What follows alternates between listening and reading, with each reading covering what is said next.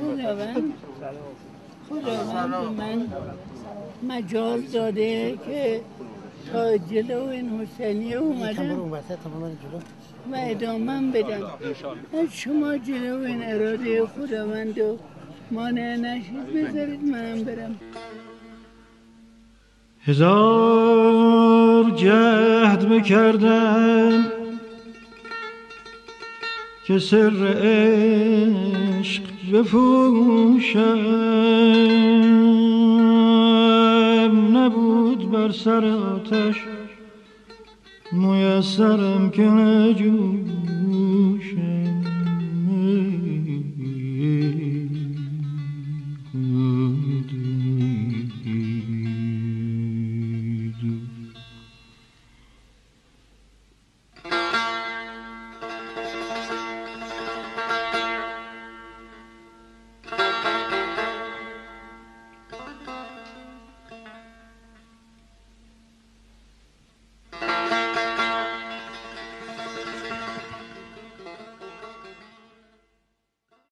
الله الرحمن الرحیم خداوند همه روزها رو مثل هم آفریده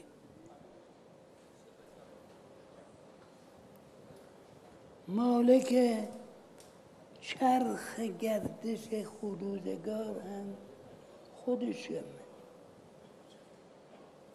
طلوع خورشید یا غروبش و همه اینها بودم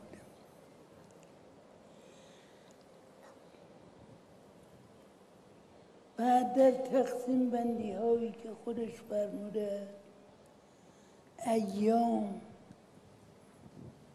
و لیالی برقرار کرده. همه اینها رو با هم مساوی قرار داده. و به لحاظ امر الهی و به لحاظ این که خداوند می‌خواد بندگانش عبادتی که به درگاهش دارن دست جمعی باشه. این است که بعضی روزها رو اسامی خاص و موقعیت خاص داشته. یکی از اون ایام همین عید فطره فطر نام این عید است.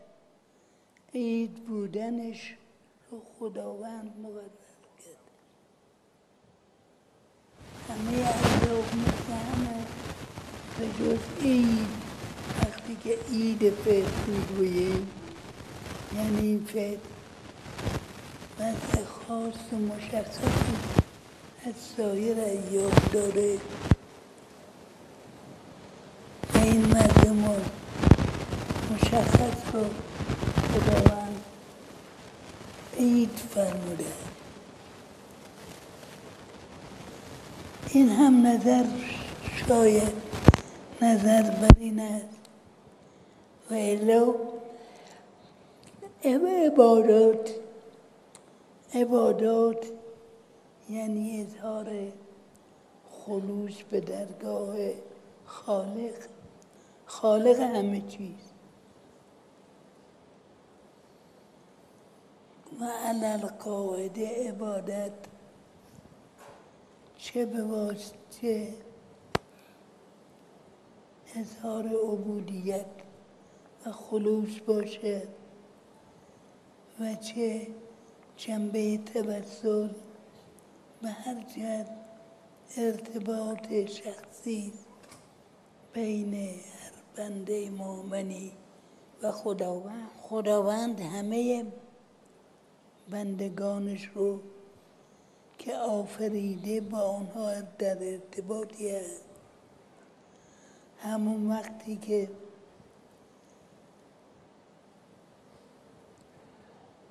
آدم و رو دستور فرمود که از بهشت بیرون بروند و جای دیگری که خود اشاره فرمود سکونت کنند. فرمود رابطه ما قطع نخواهد شد و من کماکان با شما در ارتباط خواهم بود و برای نشان دادن این ارتباط یک رشته ارتباطی هم به نام ولایت برقرار.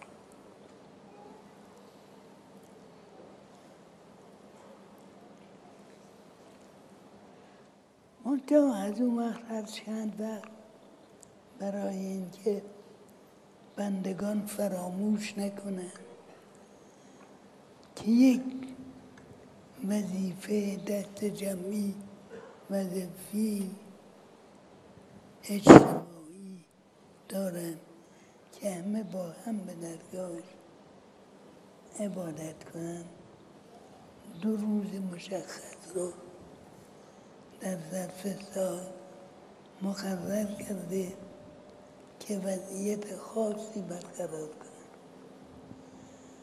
و برای اهمیت دادن به این دو روز و همچنین هم اهمیت دادن عبادات اشخاص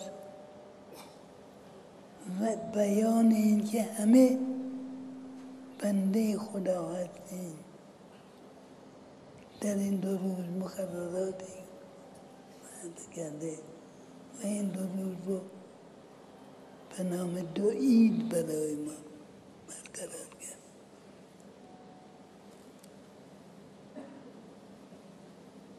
یکی از این این دو تا عید عید فطر است و قربان. که در هر دوی اینها بعد از مدتی بعد از زمانی که خودش فرموده به بنده برای اینکه فراموش نکنه نه تنها وجودش مرحوم خلقت خداونده و این خداوند که او را آفریده و فراموش نکند و بداند همین حیاتی که داره در به دست خداونده و بعد هم فراموش نکند که نعماتی که خداوند داده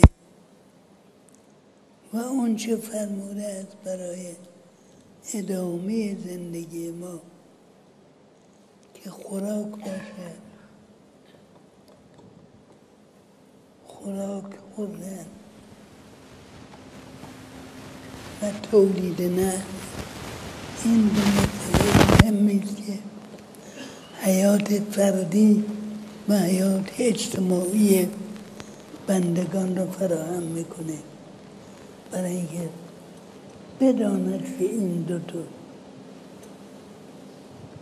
روز و این دوتا وسیعت همیشگی برای همه هست تو روزی معین کرده. روز فطر ما مقداری از اون که ظاهرا مال خود ما و هیچ کس از ما طلبی ندارد که بپردازیم. خداوند فرموده است از این نعمتی که به شما دادم. فلان قدر خودتون جدا کنید و بدید. خودش جدا نکرده فرموده خودتون.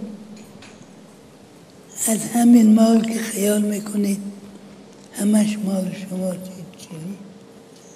یه مقدار جدا کنید بدید. و همچنین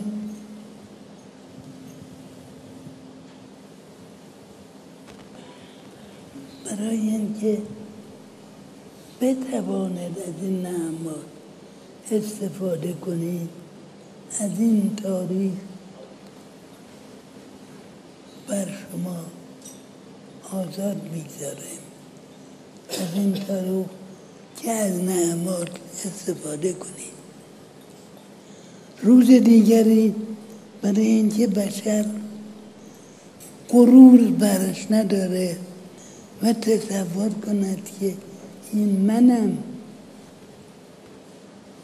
این به قول اون شعر مشهور این منم تاووس علیین شده. نه. بدون خودش همونه. بداند که جان خودش هم. حتی در اختیار خداونده. به این جهت روز دیگری که تمرین تسلیم جان و فداکاری و اینکه جان خودش رو شخصا خودش به دست خود برمیگیره به خداوند میده. یه روز قربانی معین کرده. که ایر قربان میگیم یعنی گوسفند نشانه اون حیات خودمونه. که خودمون به دست خود حیات رو می‌گیریم میدیم. بفهمیم که این حیات و این زندگی که ما می‌کنیم همه هم خداوند آورده. و اضافه بر اینها بدانیم که این عبادت و این یادآوری خداوند همگانی به این جهت نما این نمازها انفرادی نی نماز عید انفرادی نی. باید به جمعیت باشه. انشاءالله خداوند ما را جز جمعیتی که مورد خطاب قرار داده قرار بده ظاهرا همه ما مورد خطابیم که باید این اعیاد رو مقدم بداریم. خود اعیاد مقرراتی داره هیچ عیدی آنچه که ما خودمون اسمش عید می‌گذاریم عبادتی نداره. عبادت خاص خودش. جز این دن این دو روز که گذشته از عباداتی که همه است و همه وقتی برای خود این هم عبادت. وقتی از عبادت فارغ شدیم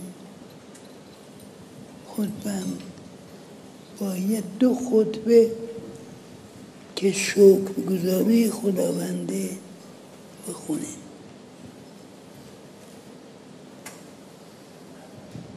به این جهت می‌رسد که ما باید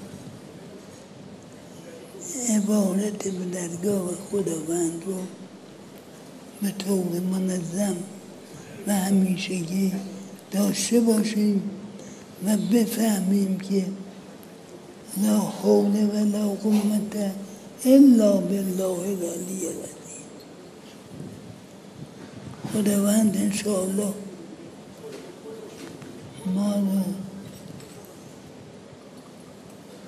از بندگانش خاصش. قرار بده. و ما رو محروم از حلاوت دیدار خودش نکنه. ز فلک دیدم و داسم نو یادم از کشته خیش آمد و هنگام درویم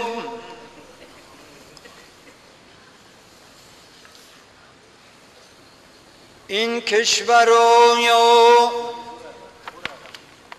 آن کشور و سیروز مهم نیست.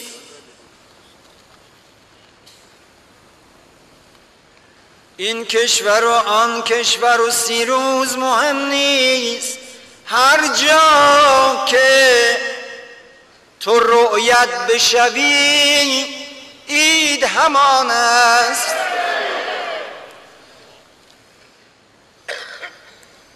بیا که ترک فلک خانه روز غارت کرد. هلال اید به دور قده اشارت کرد.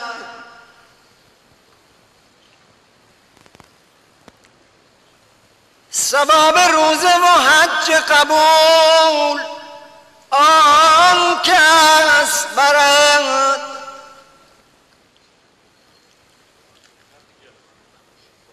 سباب روز و حج قبول. آن کس برد که خاک میکده عشق را زیارت کرد.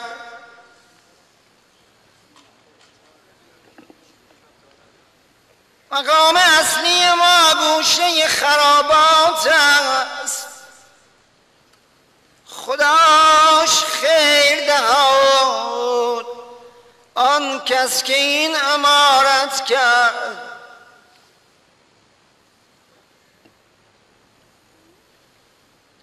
بهای باده چون لعل چیست؟ جوهر عقل. بیا که سود کسی با کین تجارت کرد نماز در خم آن ابروان مهرابی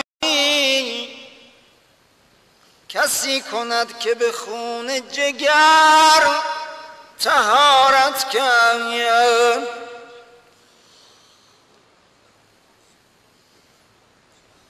فقط که نرگس جماش شیخ شهر امروز نظر به درد کشان از سر قارت کرد به روی یار نظر کن. ز دیده منت دار که کار دیده نظر از سر بسارت کن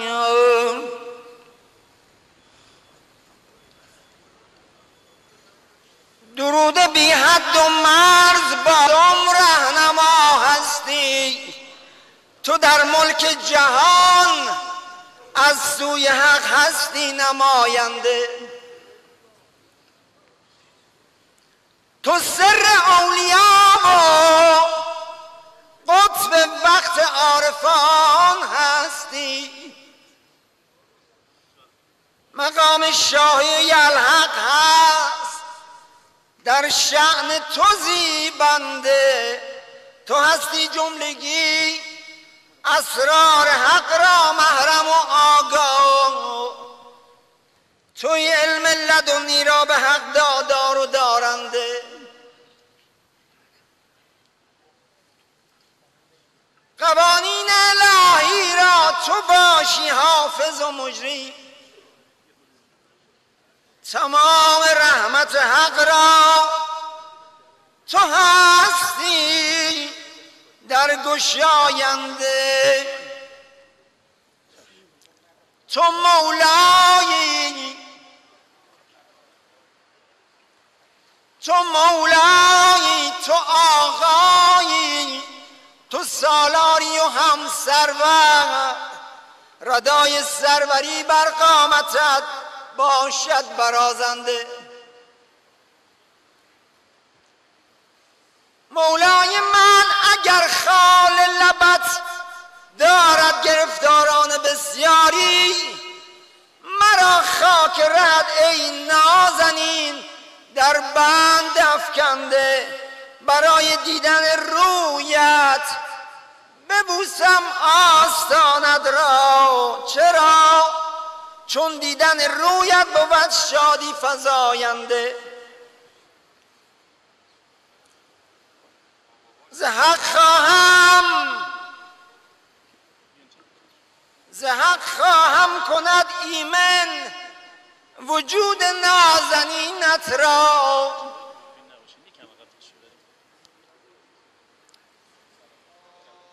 زهق خواهم کند ایمن وجود نازنینت را که بهر مردمان باشد وجودت بی هدر زنده رسید عید سیام و رسید عید سیام و از برای عرض تبریک حضورت گشته ایم این قطعه را ای شه سراینده قدم بگذار بر چشمان جمع دوستدارانت کتابان دم گرمت نمایی جانمان زنده. نظر به ما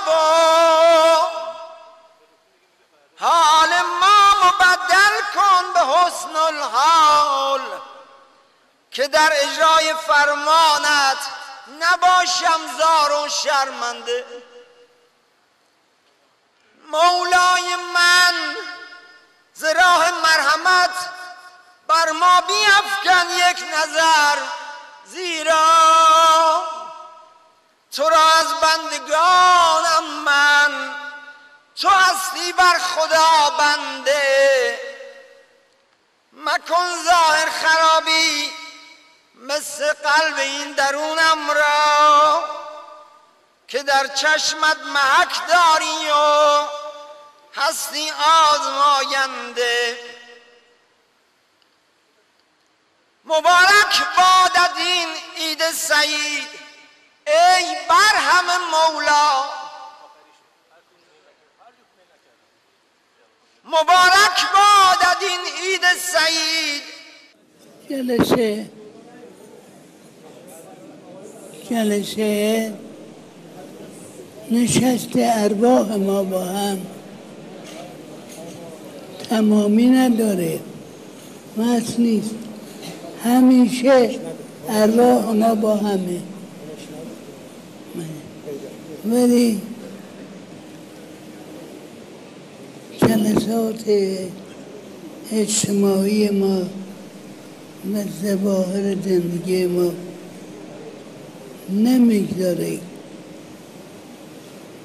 و ناچار ما وقتی بریده میشه بنابراین خدا حافظی هم که می‌کنیم. رای موقت خدا حافظی وقت آینده.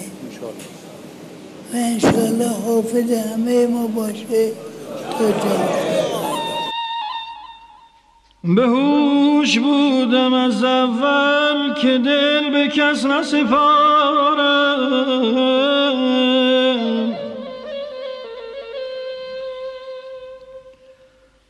به هوش بودم از اول که دل به کس نسپارم. که دل به کس نسپارم. شمایل تو بدیدم نه عقل ماند و نه هوشم.